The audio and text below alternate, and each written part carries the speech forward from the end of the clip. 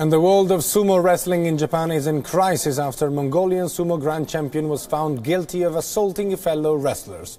Officials have said that the 33-year-old Harumafuji had hit wrestler Takanoiwa in the head with a bottle at a party last month. The 8th-ranked Maegashira Takanoiwa was diagnosed with a concussion, a fracture at the base of his skull, among other injuries. Police is investigating the incident after former grand champion Takanohana, who is at present the coach of the victim, filed the complaint. Speaking to the media, Japan Sumo Association chairman Nobuyoshi Hakkaku assured that the association will fully cooperate to the investigation by the police.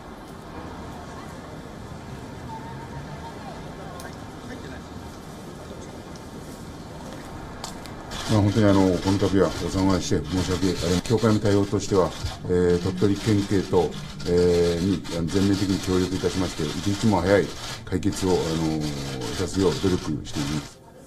This is not the first time that the sport has struggled with violence. A few years back, in fact, a former sumo master was sentenced to five years in prison after a court found him guilty for beating a 17-year-old trainee to death.